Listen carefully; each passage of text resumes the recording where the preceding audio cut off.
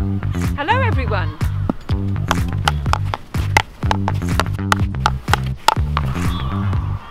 As you can see, the new facilities at Borlase are improving all our sports skills.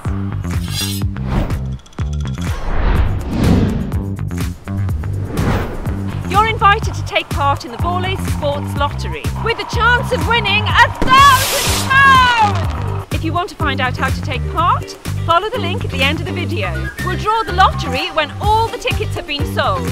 So if you want to win a thousand pounds, don't hang around. Now's the time to do it.